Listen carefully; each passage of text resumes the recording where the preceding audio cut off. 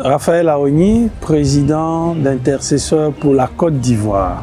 Euh, je suis heureux de parler aux téléspectateurs euh, de ce séminaire qu'Intercesseur pour la Côte d'Ivoire organise en collaboration avec des groupes de prière et d'intercession.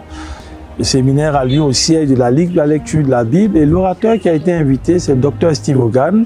Il est professeur d'histoire à l'Université de Port-à-Court et il est membre du Bureau africain d'intercesseurs pour l'Afrique. Ce que je voudrais que nous retenions simplement par rapport à ce séminaire, c'est juste de s'armer de la pensée des fils d'Issachar. La Bible dit qu'ils avaient la connaissance du temps et ils savaient ce qu'Israël devait faire.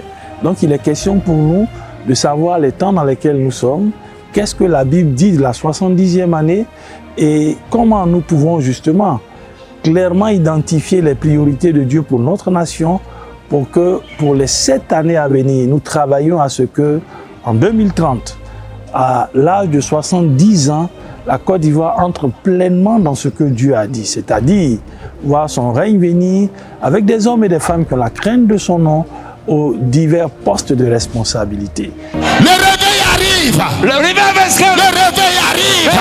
Le réveil arrive. Et c'est pour très bientôt. Very soon. Le réveil arrive. The revival is on the way. Donc c'est dans cet élan justement de voir le règne de Dieu venir que je voudrais lancer aussi cet appel.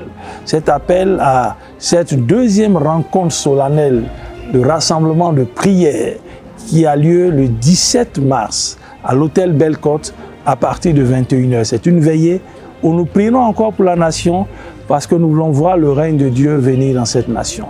C'est donc un appel pressant à tous ceux qui ont le fardeau, qui aiment la Côte d'Ivoire et qui veulent voir le règne de Dieu en Côte d'Ivoire. Venez, nous allons ensemble nous unir dans la prière pour crier à Dieu et voir des résultats probants et palpables dans notre nation. Que Dieu vous bénisse. Préparez-vous. Get ready.